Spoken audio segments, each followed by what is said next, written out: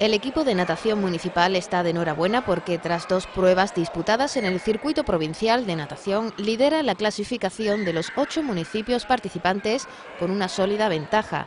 Se trata del fruto del esfuerzo de los monitores y nadadores del equipo que tras varios años entre los mejores aspiran esta temporada a llevarse el campeonato. Estas dos jornadas disputadas vamos primero de ocho pueblos eh, primer clasificado con una ventaja de 49 puntos y la verdad es que muy bien ese año. Significa que más o menos están consiguiendo esos resultados, ¿no? Sí, llevamos varios años luchando por estar entre los tres primeros y este año parece que es nuestro año. Por suerte este año tenemos cerca de los 46, 47 niños. Eh, no todos pueden asistir a todas las jornadas, pero bueno, eh, la verdad que este año por suerte estamos teniendo mucha participación, estamos casi al completo, digamos, de lo que nos permite el circuito en, cuanto a participantes. En este equipo municipal encontramos nadadores de todas las categorías, pero con un denominador común. Disfrutan en la piscina de un deporte muy completo y que a pesar de ser individual en la competición se vive como en una gran familia, en la que los éxitos del equipo se disfrutan como logros propios. Formando parte unos 3, 4 años, 3 años, pero llevo desde pequeño nadando. Y en ese sentido, ¿qué, le da la natación a un niño? En este caso ya tú llevas tiempo practicando. ¿Lo que le da a un niño para que siga compitiendo? Un deporte que es bastante exigente. Es un deporte individual, pero como hay tanta gente, está el equipo y eso, pues te lo pasas bien. Aparte del aspecto del deporte, lo importante es pasártelo bien, las competiciones y eso estamos... ¿Y exige mucho entrenamiento la plástica de la natación para tener buenas marcas, para conseguir buenos resultados? Sí, yo creo que sí. ¿Cuánto tiempo le dedicas tú a entrenar? Dos horas a la semana, pero le debería dedicar más, la verdad. ¿Es un deporte que te exige a ti personalmente mucho sacrificio o no? Sí, exige mucho de uno mismo y del compañerismo entre todos.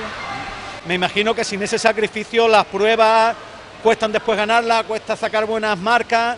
Me imagino que uno en relación con lo otro, ¿no? Claro, si no entrena no tiene buenas marcas ni puede esperar mucho. ¿Tú desde cuándo perteneces al club de natación? Eh, yo desde chica. Desde chica. ¿Por qué practicas tú la natación? Porque me gusta. Sí, ¿verdad? ¿Y estás compitiendo con el equipo en esta temporada? Sí. ¿Y cómo va la cosa? ¿Va bien o no? Sí. ¿Cómo, cómo has quedado en estas últimas pruebas?